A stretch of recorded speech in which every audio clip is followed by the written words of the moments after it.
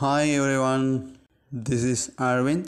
Today grammar லெசனில் நாம் பார்க்க போகிறது காம்பவுண்ட் நவுன் அதாவது கூட்டு பெயர் சொற்கள் அப்படின்னு சொல்லுவோம்.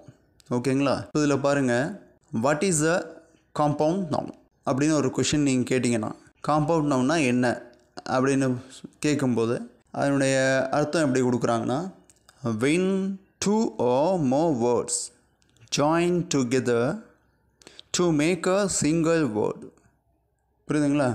இது எப்படின்னா நாம் தமிழில் சொல்லும்போது ரெண்டு இல்லைன்னா ரெண்டுக்கு மேற்பட்ட வார்த்தைகள் இருக்கு இல்லைங்களா? இதெல்லாம் ஒன்று சேர்ந்து இணைந்து ஒரு உருவாக்கக்கூடிய ஒரு வார்த்தை ஒரு பெயர்ச்சொல் இதுதான் வந்து கூட்டு பெயர்ச்சொற்கள் காம்பவுண்ட் நவுன்னு நம்ம சொல்லுவோம். புரியுதுங்களா?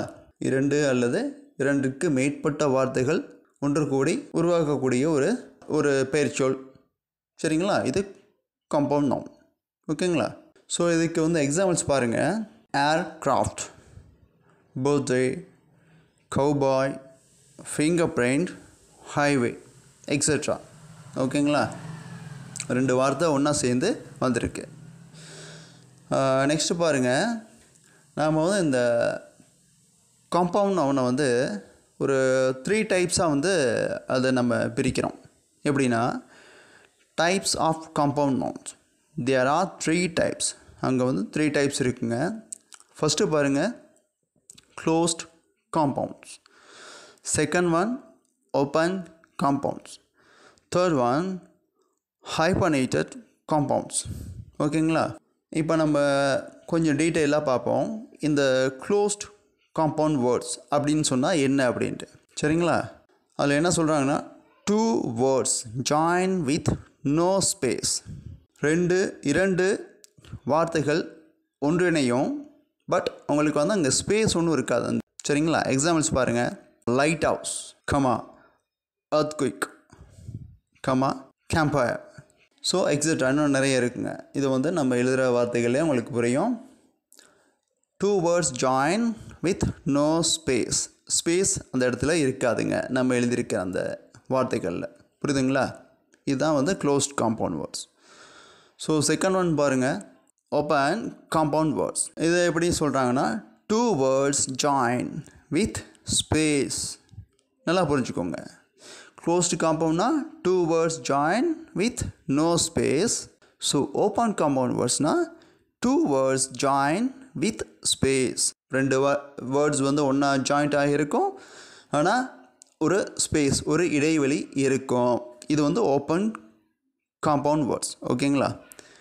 எக்ஸாம்பிள்ஸ் பாருங்கள் அச்சானி ஜெனரல் ஒரு சின்ன ஸ்பேஸ் இருக்குங்களா? நம்ம எழுதும்போது கவனிச்சுக்கோங்க. ஐஸ்கிரீம் ஒரு ஸ்பேஸ் இருக்குது ஸோ லிவிங் ரோம் ஸ்பேஸ் இருக்குது எக்ஸட்ரா ஸோ இதை மாதிரிக்கு நிறைய இருக்குங்க. அதான் நாம் வந்து ரெண்டு வார்த்தைகளை சேர்த்து எழுதும்போது ஒரு வார்த்தை நமக்கு கிடைக்கிது. அதில் வந்து நமக்கு இடையில் ஒரு இடைவெளி இருக்கும். இது வந்து ஓப்பன் காம்பவுண்ட் வேர்ட்ஸ் ஓகேங்களா? ஸோ தேர்ட் ஒன் பாருங்கள் இதுக்கு சொல்கிறது வந்து ஹைப்பர்னேட்டட் காம்பவுண்ட் வேர்ட்ஸ் இது எப்படின்னு பார்த்தீங்கன்னா more than two words are join by hyphen இரண்டு வார்த்தைகளுக்கு அதிகமாக ரெண்டுக்கு மேற்பட்ட வார்த்தைகள். மூணு நாலு வார்த்தைகள் அப்படி இருக்கலாம். சரிங்களா? இது நம்ம ஜாயின் பண்ணும்போது இடையில் அந்த இடையில் ஒரு ஹைப்பன் அந்த ஒரு மார்க் வச்சு நம்ம அந்த வார்த்தையை எழுதுவோம். சரிங்களா? இதுதான் ஹைப்பனேட்டட் காம்பவுண்ட் வேர்ட்ஸ் புரியுதுங்களா? வாங்க சில எக்ஸாம்பிள்ஸ் அதில் பார்க்கலாம். உங்களுக்கு இன்னும் ஈஸியாக நீங்கள் புரிஞ்சுக்கலாம். இப்போ பாருங்கள் எக்ஸாம்பிள்ஸ் கெட் டுகெதர் இந்த இரண்டு வார்த்தைகள் ஒன்று சேருகிறது. அது ஒன்று சேரும் பொழுது இடையில் பாருங்கள் ஒரு ஹைப்பன் இந்த ஒரு மார்க் வச்சு நம்ம அந்த வார்த்தையை எழுதுகிறோம் ஓகேங்களா இதுதான் ஹைப்பனேட்டட் காம்பவுண்ட் வேர்ட்ஸ்னு சொல்கிறது ஸோ பாருங்கள் நெக்ஸ்ட்டு பாருங்கள் மேரி கோ ராம் மேரி அங்கே நான் பாருங்கள் ஒரு ஹைப்பன் இருக்குது go hyphen round merry go round ஓகேங்களா ஸோ அதே மாதிரி mother in law so extra இதை வந்து நம்ம ஹைப்பன் வச்சு எழுதுறதுக்கு தான் நம்ம வந்து ஹைப்பனேட்டட் காம்பவுண்ட் வேர்ட்ஸ்னு சொல்கிறோம் புரியுதுங்களா? அந்த இடைவெளி வருது இல்லைங்களா? அதில் வந்து ஒரு சின்னதாக ஒரு ஹைப்பன் வச்சு எழுதுவோம். இது வந்து ஹைப்பனேட்டட் காம்பவுண்ட் வேர்ட்ஸ் இப்போ வந்து உங்களுக்கு க்ளோஸ்டு காம்பவுண்ட் வேர்ட்ஸ் அப்படின்னா என்னென்னு புரியுது? ஓப்பன் காம்பவுண்ட் வேர்ட்ஸ்னால் என்னென்னு புரியுது?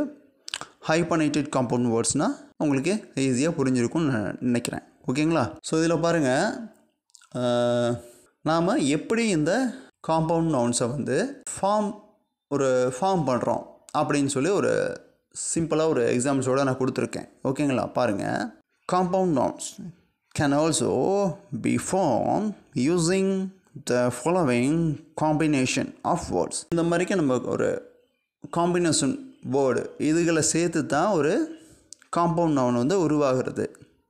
ஓகேங்களா?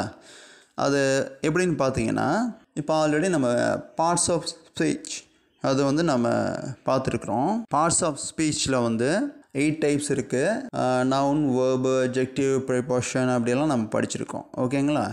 ஸோ இதில் பாருங்கள் இந்த noun verb adjective preposition adverb gerund. ஓகேங்களா? இந்த பார்ட்ஸ் ஆஃப் ஸ்பீச்சில் உள்ள இந்த விஷயங்களை இந்த இதுகளை எடுத்துக்கிட்டு தான் நாம் வந்து ஒரு வார்த்தையை வந்து எழுதுகிறோம் எப்படின்னு பார்த்தீங்கன்னா பாருங்கள் எக்ஸாம்பிள்ஸ் கொடுத்துருக்கேன். இப்போ நவுன் ஒரு நவுனும் இன்னொரு இ- இன்னொரு நவுனும் ஒன்றாக சேரும்போது நவுன் ப்ளஸ் நவுன் ஒன்றாக சேரும் பொழுது ஒரு எஸ்டேட் ஏஜென்ட் அப்படின்னு ஒரு வார்த்தை உருவாகுது. இதுதான் வந்து காம்பவுண்ட் நவுன் புரியுதுங்களா? அதே மாதிரி செகண்ட் ஒன் பாருங்கள் ஒரு நவுனும் நவுன் ப்ளஸ் வேர்ப் சரிங்களா? இது ரெண்டும் கம்பைன் ஆகும்போது நமக்கு கிடைக்கிற வார்த்தை தான் ஹேர் கட் ஹேருங்கிறது வந்து நவுன் கட்டுங்கிறது ஒரு செயல். அது வந்து ஒரு வேர்ப் உங்களுக்கு தெரியும். வேர்ப்னால் அது செய்கிற செயல். அதான் ஹேர் கட் அப்படின்னு ஒரு வார்த்தை கிடைக்கிது. இது வந்து காம்பவுண்ட் நவுனா நமக்கு ஒரு வார்த்தை கிடைக்கிது. அதே மாதிரி adjective plus noun bad habit பேடுங்கிறது வந்து அஜெக்டிவ் ஹேபிட்ங்கிறது வந்து நவுன் நெக்ஸ்ட் பாருங்கள் ப்ரப்போசிஷன் ப்ளஸ் நவுன் ப்ரப்போசிஷன் என்னது? அந்த நவுன் வந்து கிரவுண்ட் அந்த கிரவுண்ட் அப்படின்னு நமக்கு அந்த வார்த்தை கிடைக்கிது. ஸோ நெக்ஸ்ட் ஒன்று பாருங்கள் அட்வர்ப் ப்ளஸ் நவுன் அட்வர்பும் நவுனும் ஒன்றா கம்பைன் ஆகும்போது நமக்கு கிடைக்கிற வார்த்தை வந்து ஃபாஸ்ட் ஃபுட் அப்படின்னு கிடைக்கிது. ஓகேங்களா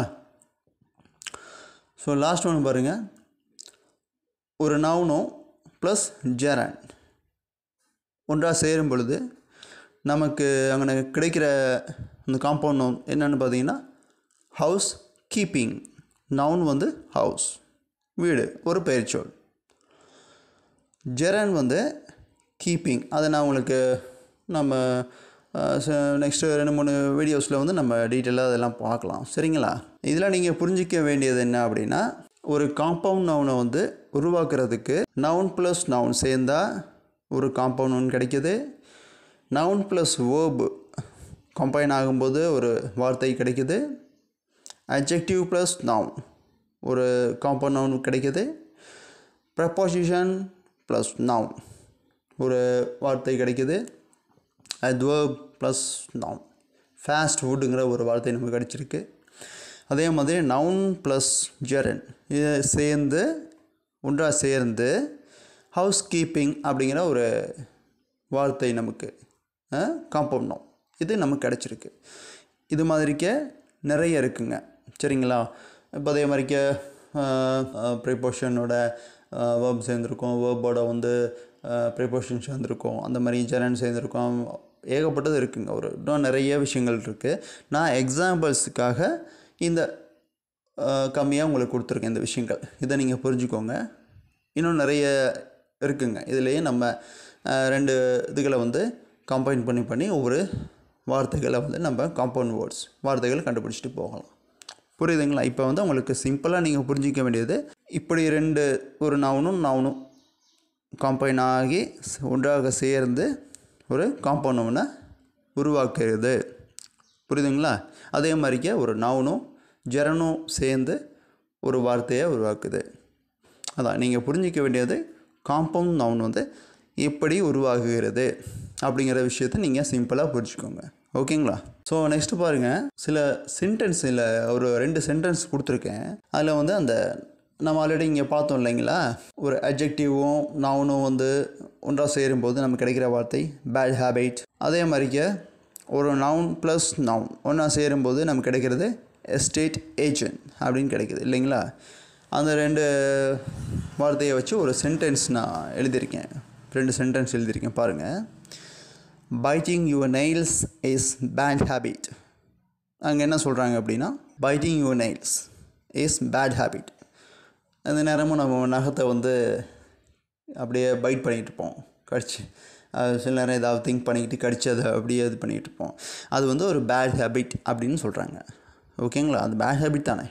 ஸோ நெக்ஸ்ட்டு பாருங்கள் அப்போ அந்த பேட் ஹேபிட் வந்து நமக்கு ஒரு compound nouns compound word compound words ஓகேங்களா ஸோ நெக்ஸ்ட்டு பாருங்கள் after public school education he become a real estate agent அவருடைய ஸ்கூல் அந்த பப்ளிக் அந்த ஸ்கூலில் முடிஞ்சதுக்கு பிறகு எஜுகேஷன்லாம் முடிஞ்சதுக்கு பிறகு அவர் ஒரு ரியல் எஸ்டேட் ஏஜெண்ட்டாக வந்து இருக்கார் அப்படின்னு சொல்கிறாங்க சரிங்களா? அந்த ரியல் எஸ்டேட் ஏஜென்ட் அது வந்து பார்த்திங்கன்னா ஒரு நவுன் ப்ளஸ் நவுன் அதில் நமக்கு கிடைத்த ஒரு காம்பவுண்ட் வேர்ட்ஸ் ஓகேங்களா? அதுதான் இப்போ நான் இங்கே சொல்ல வர்றது இதை புரிஞ்சுக்க இந்த வீடியோவில் ஏதாவது உங்களுக்கு டவுட்ஸ் இருந்ததுன்னா கண்டிப்பாக எனக்கு வந்து கமெண்ட்டில் வந்து நீங்கள் கேளுங்க. ஓகேங்களா? ஸோ உங்களுக்கு இந்த வீடியோ பிடிச்சிருந்ததுன்னா உங்கள் ஃப்ரெண்ட்ஸு உங்கள் ரிலேட்டிவ்ஸ்க்கெலாம் ஷேர் பண்ணுங்கள் நம்ம சேனல் நீங்கள் இன்னும் சப்ஸ்கிரைப் பண்ணல அப்படின்னு சொன்னால் அந்த சேனல் சப்ஸ்கிரைப் பண்ணி ஒரு சப்போர்ட் பண்ண. இன்னும் நிறைய நம்ம வீடியோஸ் நல்ல ஒரு வீடியோஸில் நம்ம மீட் பண்ணலாம். Bye from Aravind thank you bye bye